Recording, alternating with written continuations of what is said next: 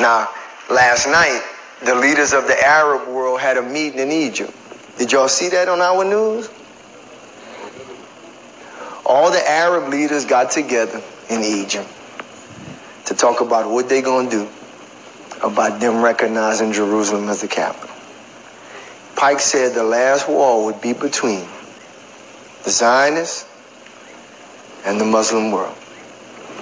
Right? This is where we at. This is where we at. Y'all still up out there? All right? It's so bad, we received a letter. Philadelphia.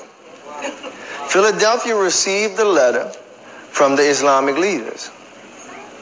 I don't know why, Keith. They must know we crazy over here. You understand what I'm saying? So we receive a letter. Now, this is going to blow your mind, all right? Because James, James, am I lying? All right, we receive a letter. Now, let me show you a copy of the letter. We receive it in English, and we also received it in Arabic. Amen? And they are burnt about this recognition of Jerusalem. Now, why they done said that to me, I don't know. lot of people to be watching me. Going to see all kind of people at the game today. Go whosoever. In world send that to me for? But they watching you, Israel. They watching you. You got time clock. They watching you. Because your motions, your movements, your ascent, your rise, your prosperity, show the world where we at right now. They wrote us. Now look what they say in the letter, right? All right? Go to the next clip. Look what they say. Hallelujah. This is where it's from. The Saeed Abdul Hadi, the administrative trustee, the global guardians of the Al Aqsa. You know what I'm saying? The Dome of the Rock and stuff like that. The gardens of it. And they writing us at Philly and they say, they telling us, Washington cannot broker peace negotiations on behalf of the Palestinian and the Jerusalemite family.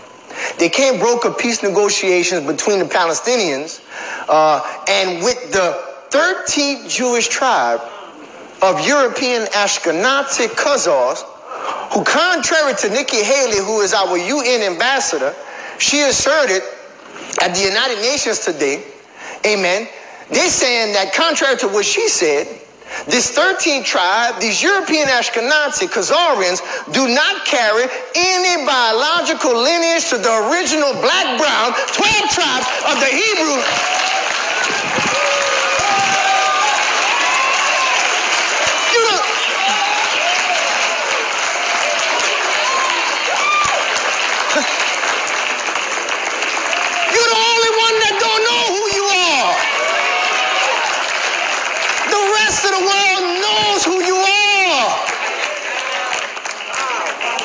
See, these people have no biological lineage.